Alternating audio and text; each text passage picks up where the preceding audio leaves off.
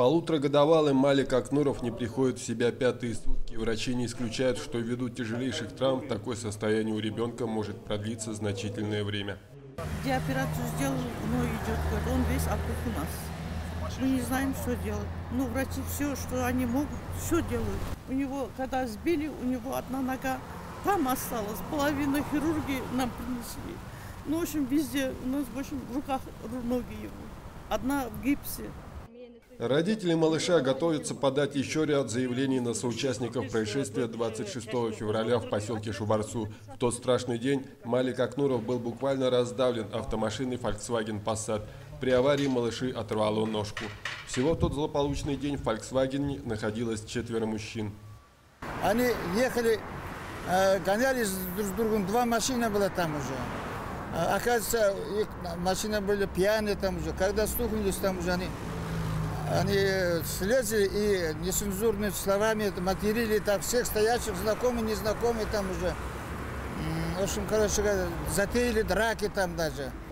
Кроме водителя, который сел за руль в нетрезвом состоянии с просроченными правами, обвинения также выдвигаются владельцу Volkswagen, который в момент аварии находился рядом с водителем, а затем стал избивать маму пострадавшего малыша. мен келсем анау жаңағы баламды қаққан кісілер сол жерде екен Муж сразу забрал ребенка и повез его в больницу. Я к ним подошла, стала спрашивать, что вы наделали. А они на меня матом и бить меня стали. Один душил меня. Родители написали заявление еще на двоих пассажиров Volkswagen, которые сразу после происшествия скрылись с места, даже не попытавшись оказать помощь пострадавшим. Вместе с внуком, еще четыре внуки, а, пять внуков было там. Они слегка там пострадали, а вот этот годовальный ребенок остался на месте там.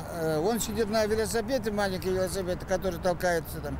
Он, конечно, не смог уже избежать. Остальные, э, ну, ну, как упали, в общем, короче говоря, слава богу, живы они там уже. А какие-то травмы они получили? Травмы есть, да? А Травмы Ну, есть, да. легковые травмы, например, вот, например, э, На руках. на руках, живот там уже.